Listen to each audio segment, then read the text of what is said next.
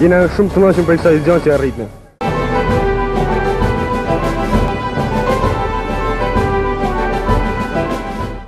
Arben Broci, Bujar Bishanaku, Besnik Ceka dhe Nazmi Kryeziu janë katër viktimat e demonstratës antikomuniste të mbajtur në Shkodër më 2 pril të vitit 1991. Njëzet e katër vite pas ditës kur regjimi komunist goditi përdhunshëm për herë të fundit, presidenti i Republikës, Bujar Nishani u ka akorduar katër të rinjve dhe pjesëmarrësve të tjerë në demonstratë dekoratën Nderi i Kombit.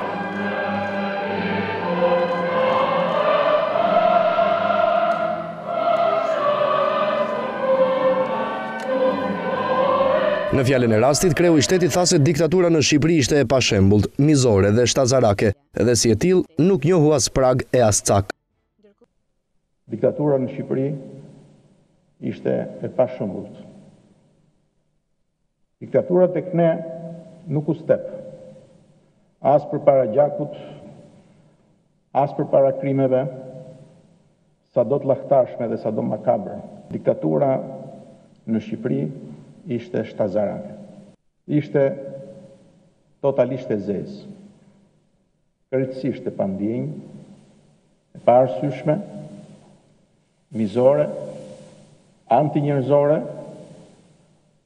sa sot as neve vetë nuk na besohet sa e llahtarshme ishte. Si autoriteti më i lartë i shtetit, Nishani kishte një përgjigje edhe për tezën se diktatura komuniste në vendin tonë nuk u rrëzua nga shqiptarët, por sistemi ra vetë. Diktaturën e rrëzuan ata mijëra shqiptarë që vuajtën nëpër internime, u burgosën dhe u pushkatuan.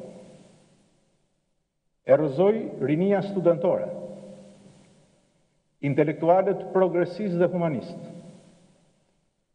E rrëzoi revolta e një populli të shtypur, varfëruar dhe shkelur gjer në tejdhimbje. Në atë rrëzim pati edhe gjak. Në ceremoninë e veçantë të mbajtur në Presidencë morën pjesë familjarë të katër martirëve të dy prillit dhe protagonistëve të tjerë të kohës.